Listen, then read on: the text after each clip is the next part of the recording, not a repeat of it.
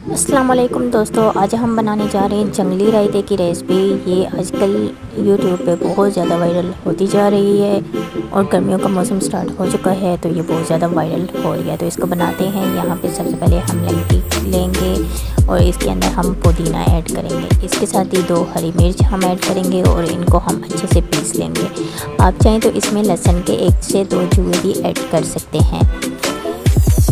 गर्मियों का मौसम शुरू हो गया है तो ये जंगली रायता जो है, ये तो अच्छे से हमारे पास होना चाहिए। ये जो आप हरी हरी चटनी देख रहे हैं, इसका, इससे वेट लूज़ काफ़ी ज़्यादा वेट लूज़ के काफ़ी ज़्यादा फ़ायदे हैं। यहाँ पे हमने एक अदद खीरा लिया है, इसको हम अच्छे से धो के, इसको अच्छे से हम छील लेंगे।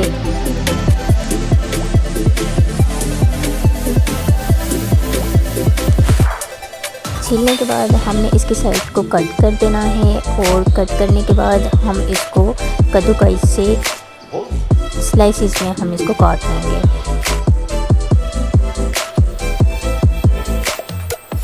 अच्छे से स्लाइसिस हमने इसके कट करने हैं।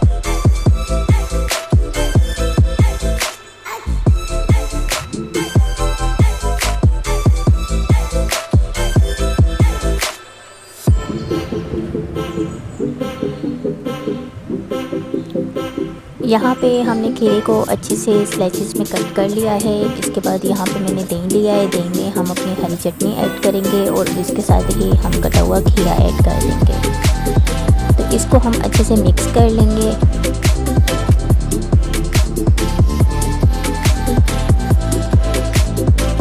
बिल्कुल हमें इसको अच्छे से मिक्स करना है। ये ग्रीन चटनी के साथ अच्छे से मिक्स हो जाए। इसके साथ ही यहाँ पर मैंने लिया है नमक हाफ़ टेबल स्पून उसके साथ ही हाफ़ टेबल स्पून मैंने काली मिर्च ली है और हाफ़ टेबल स्पून में इसमें चाट मसाला यूज़ करूँगी। आप चाहें तो आप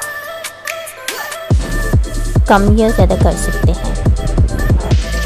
अच्छे से हम इसको मिक्स मिक्स करेंगे और यहाँ पे ये हमारा जल्दी रायते की रेसिपी जो है वो बनकर तैयार हो चुकी है। उम्मीद करती हूँ आपको मेरी रेसिपी पसंद आएगी। अगर पसंद आई लाइक कमेंट शेयर ज़रूर करें। अगर आप मेरे चैनल पर नए हैं तो चैनल को ज़रूर सब्सक्राइब करें और बेल आइकन को लाजमी प्रेस करें। तो नेक्स्ट वीडियो में, अल्लाह हाफिज़।